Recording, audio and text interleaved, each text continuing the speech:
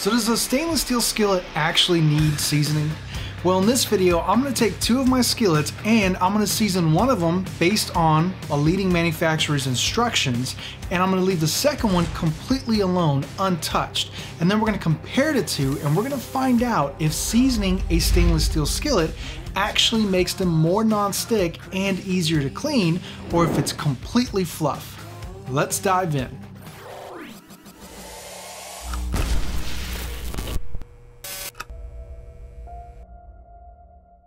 Okay, so let's start off with some background. Personally, I've never had any issues once I got the hang of stainless steel with sticking or even trouble really cleaning them. Now, of course, compared to carbon steel or cast iron, yes, stainless steel is more prone to sticking and yes, it is harder to clean compared to those pans. But once you get the fundamentals down and you figure out how to properly preheat your skillet and preheat your oil, you start kind of getting used to it and stainless steel actually becomes really, really fun to use and surprisingly very non-stick. Now it's important to remember stainless steel is prone to sticking somewhat because it's really good for developing fond. Now those of you that don't know what fond is, it's basically the sticky bits that are left over on a skillet and you can take those sticky bits and end up making a delicious sauce out of it. So yes, stainless steel is a bit more prone to sticking and it can become a huge stick machine if you don't properly preheat them and understand the basics and the fundamentals. But don't worry because I got you guys covered. If you haven't already, go watch my videos on stainless steel cooking. I have one specifically about the fundamentals where I go over how to preheat them, what is fond, how to make sauces out of fond, and even how to clean a really sticky mess. And then I also have some other videos comparing stainless steel to carbon steel and cast iron, specifically a steak video where we kind of compare which one sears better. So I have a whole playlist on skillets and pans, so definitely go check them out, especially if you're new to stainless steel cooking or cooking in general. So here's some background. I gotta admit, when I first started off, I was a huge cast iron skillet guy. I mean, everything cast iron I wanted and I loved. And then I moved on to carbon steel. And carbon steel pans are still my favorite form of cooking. I really like the features that it has. It's basically a middle ground between cast iron and stainless steel. Carbon steel and cast iron do have their limits and that's where stainless steel comes in. Now I've replied to some of your guys' comments and told you guys that stainless steel has definitely grown on me as I got older and better at cooking and that's absolutely true. In the last year, maybe a year and a half, I've really enjoyed using my stainless steel skillets and I've picked them up more times than not, especially during the pandemic because I've kind of explored other cultures and other cooking styles and cuisines where I want to make sauces and develop a different type of cooking. And stainless steel is amazing for that. Now, I don't want to give the wrong impressions. When I started off, I hated stainless steel. It stuck like crazy, I didn't know how to use them properly, and it just seemed like they were more work than they were, you know, actually doing anything for me.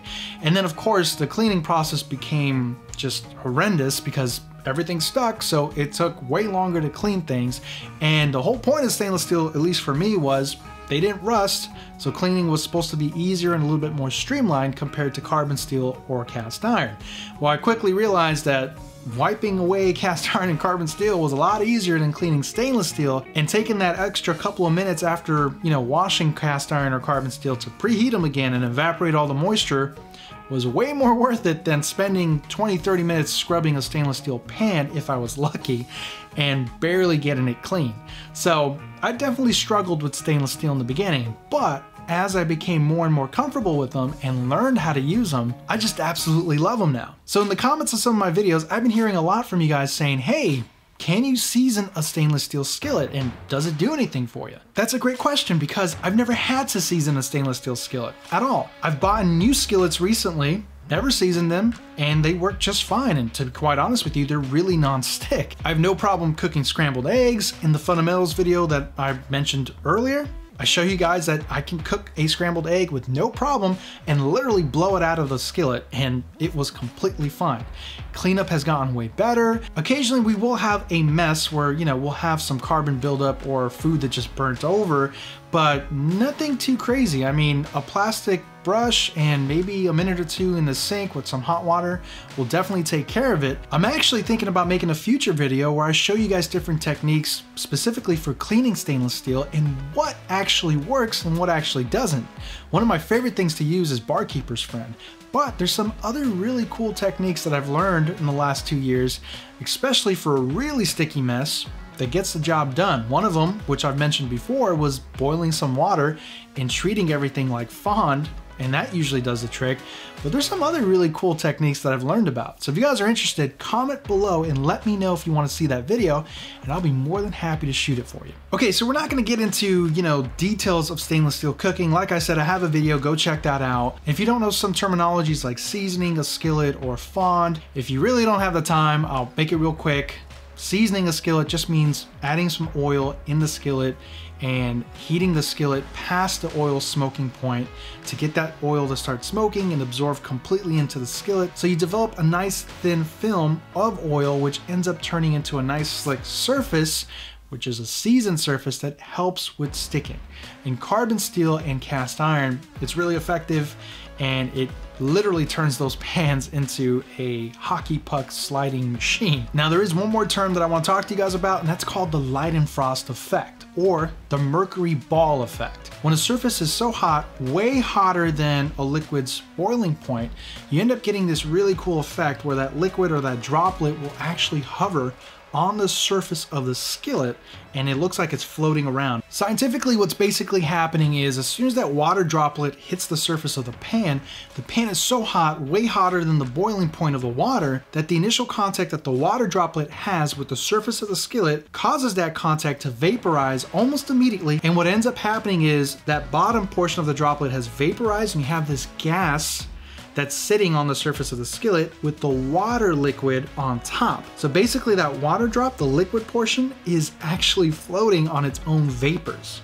And that's what actually causes the Leidenfrost effect. So what are the benefits of the Leidenfrost effect? Well, a lot of people claim that if you take some water and you throw it in your skillet and it beads up into that mercury ball effect, your skillet is now properly preheated and you can now add your oil, let your oil get up to operating temperature just before you start seeing smoke, and theoretically, everything in there should not stick because the skillet has been preheated. Stainless steel is a little bit unforgiving. You have to find that sweet spot or, you know, it can be a disaster. But once you learn on them, once you get the hang of it, you can find that sweet spot and there is a bit of a window. So don't be too afraid.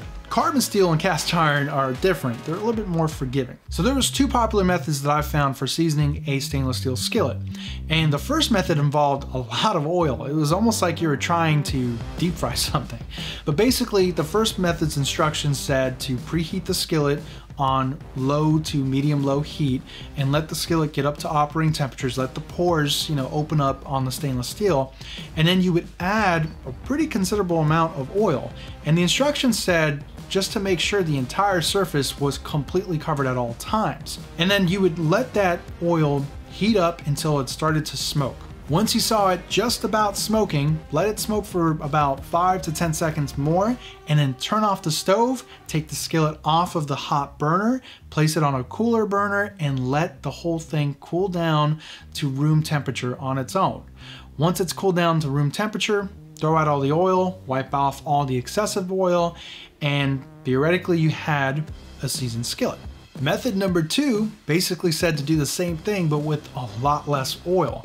And I thought method number two made more sense. It was a lot like seasoning a cast iron or carbon steel skillet. And for both methods, you pretty much get them to the Leidenfrost effect where you get the mercury ball test and then you add your oil. But this time when you add your oil, you want to add just enough to get a nice thin layer on the whole skillet. So it's a lot like carbon steel. You're gonna add a couple of drops or so, and then you're gonna take the paper towel and you're gonna wipe the oil and get a nice thin consistent layer on the entire inside of the skillet. And then you let the skillet heat up until you see the oil just smoking, wait about five seconds or so after you see some smoke, turn off the stove, take the skillet off the hot burner and place it on a cooler burner and let the entire thing cool to room temperature, which is usually about an hour or so just to be safe. And just make sure it's completely cool to the touch and you're good to go. I like method number two a lot more. It made more sense to me, so that's the method I'm gonna do. Okay, and then I seasoned my all-clad three-ply stainless steel skillet, and I left my Amazon Basics three-ply stainless steel skillet completely alone. I gave the edge to the seasoned skillet, the all-clad, the higher quality skillet, and I compared it to my non-seasoned Amazon commercial three ply budget friendly stainless steel skillet. And I figured this would be a really good test because if the all clad had any hiccups whatsoever, I knew something was wrong. And that's exactly what happened. The results were surprising and kind of alarming. I fried an egg in each skillet, and the seasoned all clad stainless steel skillet stuck more than my non seasoned Amazon Basics budget friendly stainless steel skillet. I knew something was wrong. I figured I probably didn't do things right, or maybe I had too much oil. Upon further examination of the all-clad skillet, I saw that the surface had some sticky residue left over. Now from past experiences using carbon steel or cast iron and seasoning those skillets, when that happens, one of two things probably occurred. The first possibility is you used way too much oil and you actually got a thin film of oil residue on the surface and you didn't actually season your skillet. I don't think that's what happened because I did use a thin layer of oil and I made sure to wipe off all the excessive oil, you know, when the skillet was done and it was smooth and everything was nice. The second possibility is your skillet was dirty to begin with. The surface wasn't completely clean, and I think that's what happened.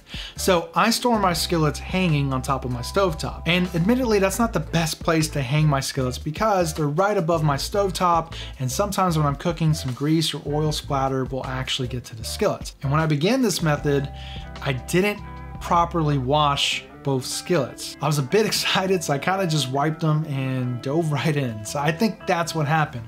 The skillet surfaces were probably dirty with the frying oil and, you know, splatter.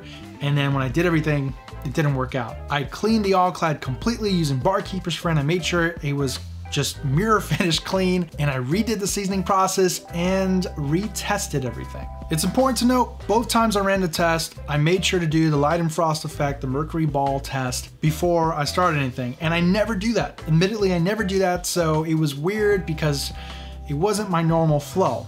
But when I ran the test again, things were a lot better. The all clad was not sticking anywhere near as bad as it did previously, but I was still really surprised because compared to the non-seasoned Amazon Basic skillet, it was pretty much performing almost identical with one caveat. I noticed that the carbon buildup or the fond that was left over with the all clad was a lot more flakier and was coming off a lot easier. Even when I was cooking, I was actually tempted to take like a wooden, you know, spatula and just see if it flicks off compared to the Amazon Basics non-seasoned skillet. But as far as non-stick goes, they were pretty identical. I mean, maybe I would give the all-clad a slight advantage. Maybe it was a bit more non-stick, but not by much, nothing like drastic like carbon steel or stainless steel. It acted like a stainless steel skillet. Now, I wanted to repeat the test one more time, but this time not doing the mercury ball test, just, you know, going off of my basic instincts and seeing if that made a difference or not. And I got pretty much the same result. Did the seasoning make a difference? As far as non-stick goes, I don't know.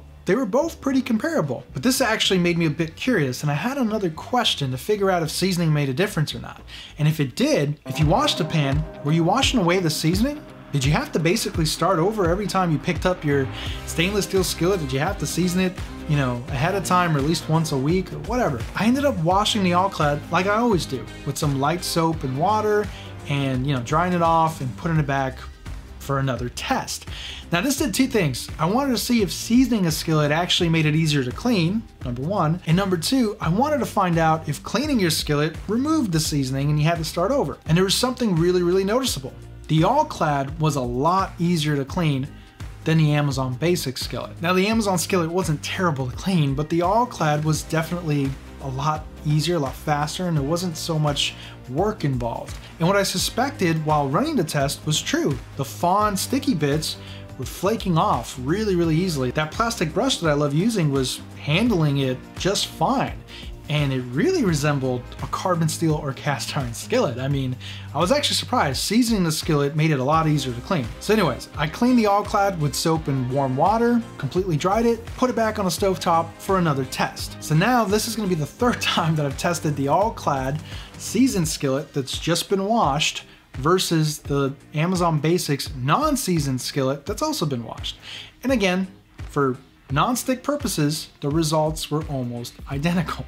I didn't see a difference, and I can't say that one was more non-stick than the other. So this led me to another idea. I wanted to make my green and red salsa. If you guys haven't already, go watch my video where I show you guys how I make King Taco's famous green salsa and red salsa. And for both methods, you have to roast your tomatoes, tomatillos, and chilies. Red tomatoes can become a really big sticky mess, but for those of you that don't know, tomatillos are even worse because they're really, really acidic. Now I know what a lot of you guys are thinking, there's no way I would ever do this on my cast iron or carbon steel skillets. Well, you're wrong. I exclusively roast these tomatoes on my cast iron or carbon steel skillets because they're so non-stick and I never have to worry about a sticky mess. And guess what? The seasoning never flaked. I've never lost the seasoning on my cast iron or carbon steel skillets when doing this. So that's just proof that you can cook acidic foods, just not in really long liquid durations in the oven. So back to my point, I never really did it on stainless steel skillets, not necessarily because they stuck. Over the years, I kind of figured out how to not, you know, get them to stick so bad, but it's because of the fond, the burnt residue, the carbon buildup that would, you know, result from cooking the chilies and the tomatillos and the tomatoes was just a big sticky mess and previously in a stainless steel skillet anytime I did this I always had to boil some water to get all that stuff out because it would just be a nightmare to clean. So I figured this would be a perfect way to test my suspicions that seasoning a stainless steel skillet may or may not necessarily make it more non-stick but it might actually make it way easier to clean. So I roasted my tomatillos, my tomatoes, my chilies for my green salsa, and then I did onions and red tomatoes for my red salsa. And I made sure not to clean anything in between. I really wanted those sticky bits to burn and just make a really sticky mess to see if it's any easier to clean.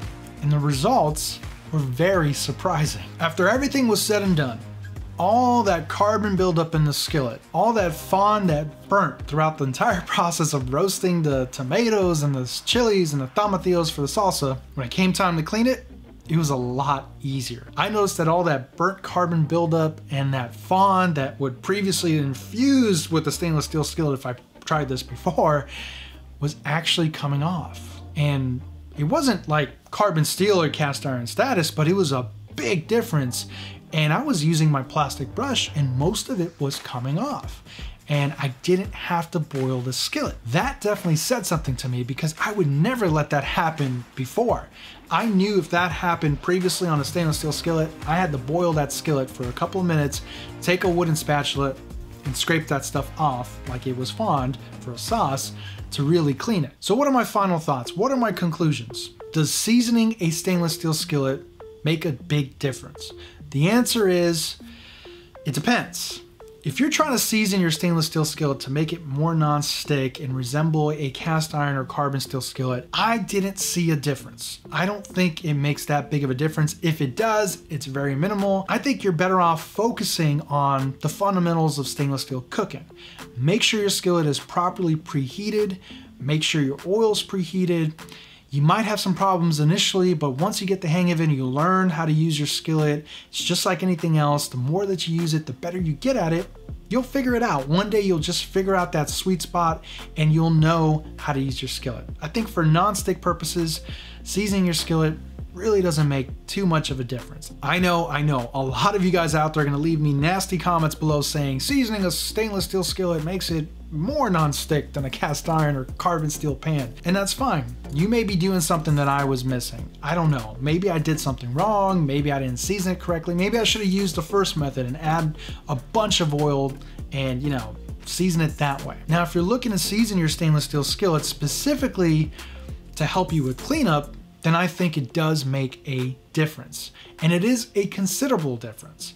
But keep in mind, it's not gonna magically make a stainless steel skillet a carbon steel or cast iron skillet. Stainless steel is known for fond. You have to remember that. And don't confuse fond with sticking. A stainless steel skillet can still be non-stick and release your food properly, but still develop fond. And I know that may be confusing, but that's what it is. A stainless steel skillet just develops fond. A lot of you guys out there, especially when you're leaving me comments, you seem to think that non-stick means absolutely nothing left over in the pan and not necessarily the food being released properly. And some of you guys are even thinking that non-stick means you don't have to use any oil and still use your pan. That's not non-stick, that's just specifically not using any oil or not using any fat for your cooking. I think it's called like no oil cooking or no fat cooking. Carbon steel and cast iron will still leave things over. And those sticky bits are usually seasoning, like food seasoning. So there's always gonna be leftover carbon to clean and it might be easier with some pans than others. Carbon steel and cast iron, you can oftentimes just wipe it away and that's good enough. With stainless steel, that's not the case. So non-stick doesn't necessarily mean that, oh, you have to clean it, therefore it's sticking. Sticking just means that when you put your food in there, whatever it may be, your proteins or your meats or whatever, and it's time to flip it, the skillet properly releases that food and you don't end up tearing the food away as you're trying to flip it. And stainless steel can be very non-stick, but it's known for leaving fond behind. And I think seasoning a stainless steel skillet definitely makes it a lot easier to clean later on, especially if you're not looking to deglaze the pan and make a sauce out of the fond. That's it for me guys. I hope you found this video informative. Check out some of my other videos and I will catch you guys on the next one. Take care everybody. Hey everybody. How'd you guys like that last video? Hope you guys enjoyed it. If you did, please like, subscribe, and hit that notification bell so you get notified on my next video. And if you can, please share with your family and friends. I would really appreciate it. Here's some more content that I think you guys are really gonna enjoy. Check them out. As always, guys, thanks for watching, and I'll catch you guys on the next one. Take care.